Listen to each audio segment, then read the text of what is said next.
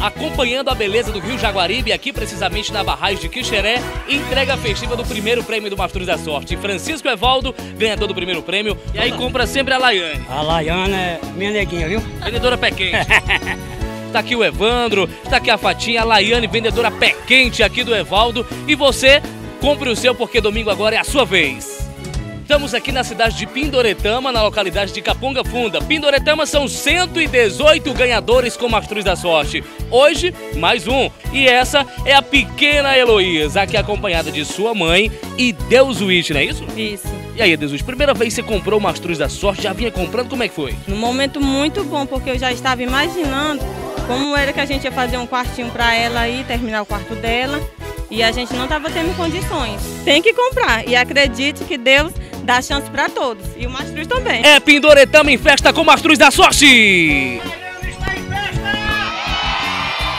É Palhano em festa com Mastruz da Sorte. Estamos aqui na Praça Central de Palhano e olha só, Valdivino Arruda, ele ganhador do Mastruz da Sorte, terceiro prêmio, 6 mil reais em dinheiro. E aí, Valdivino? Tem que comprar para acreditar, né? Porque acreditando é o que vale, né? Pra poder ganhar, que não comprando não ganha, né? Só ganha quem compra. Só ganha quem compra. Que o nosso regional Filho vai repassar o cheque para as mãos do Valdivino, porque é Palhano em festa com Mastruz da Sorte!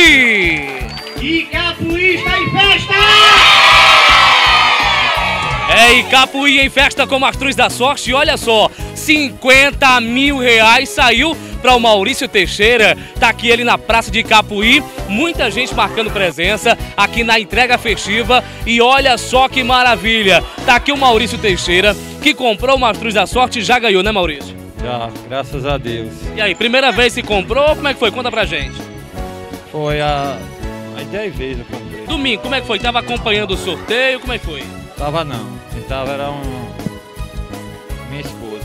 Sua esposa que tava acompanhando o sorteio. E você, como é que ficou sabendo? Fiquei sabendo depois que. Eu achei que tinha passado batido, né? Mas era verdade? Era verdade.